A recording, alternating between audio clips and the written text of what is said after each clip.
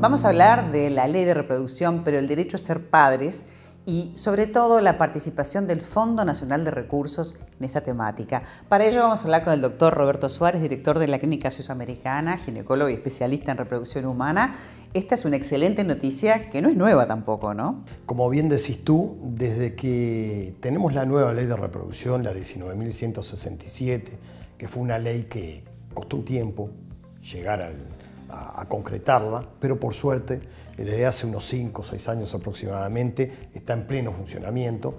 La ley eh, establece claramente que los tratamientos de reproducción de baja y alta complejidad eh, tienen que ser comprendidos de alguna forma por el Estado o por las mutualistas.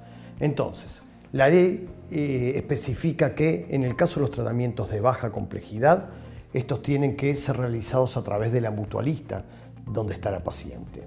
Eh, hay un copago para realizar, pero permite el acceso a estos tratamientos de baja complejidad, que son las inseminaciones, en forma eh, mucho menos onerosa que cuando se realizaban en forma particular. Además, doctor, tengo entendido que según lo que la persona percibe en su salario, cuanto menos gana, más lo ayudan y viceversa. Ahí entonces el Fondo Nacional de Recursos analiza los ingresos que tiene la pareja y ahí decide qué copago tiene que realizar.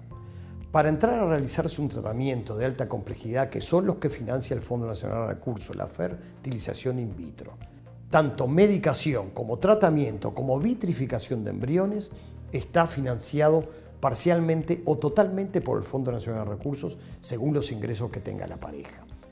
Hay que tener algunos requisitos ¿no? que el Fondo Nacional de Recursos exige no tiene que tener cumplido los 40 años la paciente.